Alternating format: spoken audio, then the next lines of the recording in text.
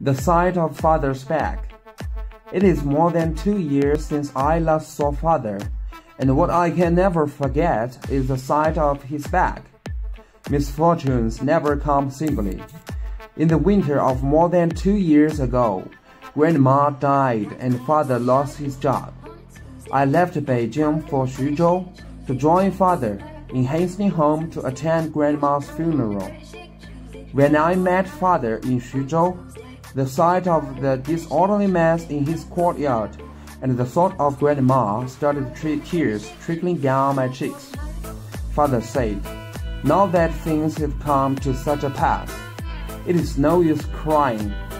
Fortunately, heaven always leaves one a way out. After arriving home in Yangzhou, father paid off debts by selling or pawning things. He also borrowed money to meet the funeral expenses. Between grandmother's funeral and father's unemployment, our family was then in reduced circumstances. After the funeral was over, father was to go to Nanjing to look for a job, and I was to return to Beijing to study. I spent the first day in Nanjing strolling about with some friends at their invitation and was ferried across the Yangtze River to Pukou the next morning and thence taking a train for Beijing on the afternoon of the same day. Father said he was too busy to go and see me off at the railway station, but would ask a hotel waiter that he knew to accompany me there instead. He urged the waiter again and again to take good care of me but still did not quite trust him. He hesitated for quite a while about what to do. As a matter of fact, nothing would matter at all because I was then 20 and had already traveled on the Beijing Pukou Railway a couple of times. After some wavering, he finally decided that he himself would accompany me to the station. I repeatedly tried to talk him out of it, but he only said, Never mind, it won't do to trust guys like those hotel boys. We entered the railway station after crossing the river. While I was at the booking office buying a ticket, father saw to my luggage. There was quite a bit of luggage, and he had to bargain with the porter over the fee. I was then such a smart lead that I frowned up on the way father was haggling and was on the verge of chipping in a few words when the bargain was finally clinched. Getting on the train with me, he picked me a seat close to the carriage door. I spread on the seat the burnished, fur-lined overcoat he had got tailor made for me. He told me to be watchful on the way and be careful not to catch cold at night. He finally asked the train attendants to take good care of me. I sniggered at father for being so impractical, for it was utterly useless to entrust me to those in attendance who cared for nothing but money. Besides, it was certainly no problem for a person of my age to look after himself. Oh, when I come to think of it, I can see how smarty I was in those days. I said, Dad, you might leave now. But he looked out of the window and said, I'm going to buy you some tangerines. You just stay here, don't move around. I caught sight of several vendors waiting for customers outside the railings beyond a platform. But to reach that platform would require crossing the railway track and doing some climbing up and down.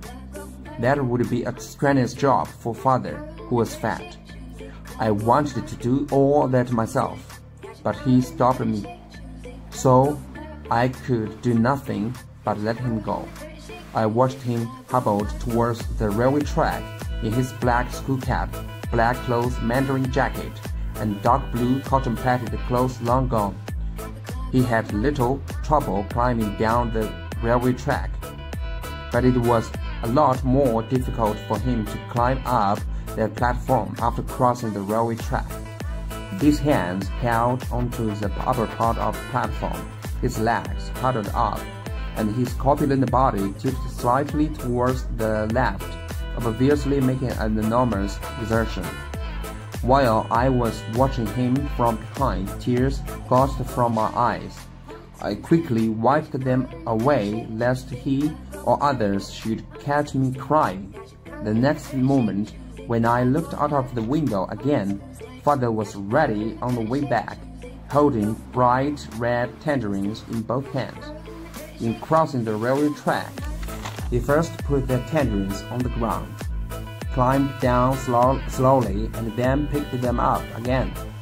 When he came near the train, I hurried out to help him by the hand. After boarding the train with me, he laid all the tangerines on my overcoat and patting the dirt off his clothes. He looked somewhat relieved and said after a while, I must be going now. Don't forget to write me from Beijing.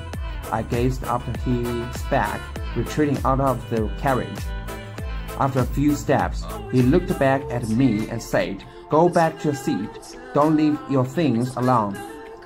I, however, did not go back to my seat until his figure was lost among crowds of people hurrying to and fro, and no longer visible. My eyes were again wet with tears. In recent years, both father and I have been living an unsettled life, and the circumstances of our family going from bad to worse.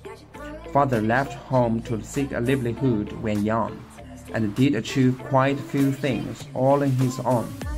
To think that he should now be so downcast in old age, the discouraging state of affairs filled him with an, an uncontrolled.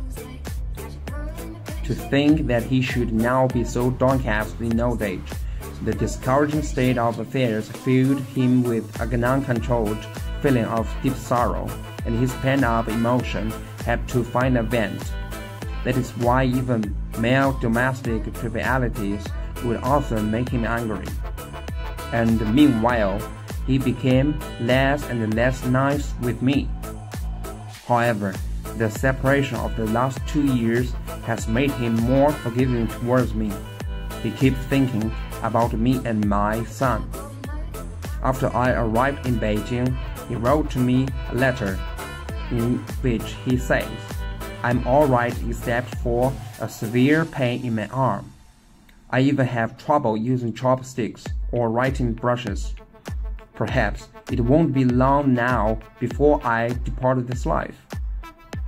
Through the glistening tears which these words had brought to my eyes, I again saw the back of father's corpulent form in the dark blue cotton padded clothes long gone and the black cloth mandarin jacket.